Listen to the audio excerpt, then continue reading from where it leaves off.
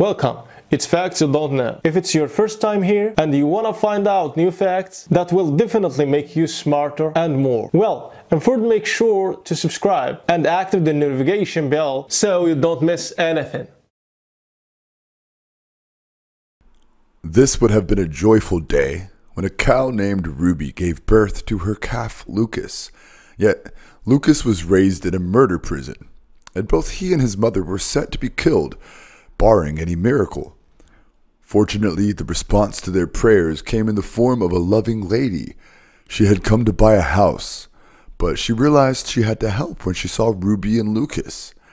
In addition, their journey was far from over. Ruby and Lucas were inseparable. Following their initial rescue, Ruby, like every parent, just wanted to have her baby by her side.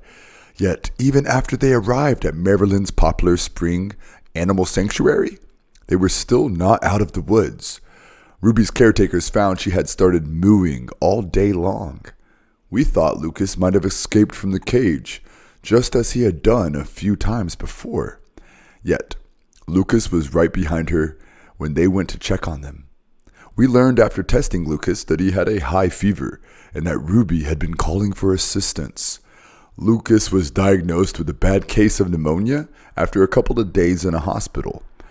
While he is still on the rebound, thanks to his mom's fast thinking, Lucas will be okay. He may not have made it if they have found the disease any later. Bless you, mummies, for that.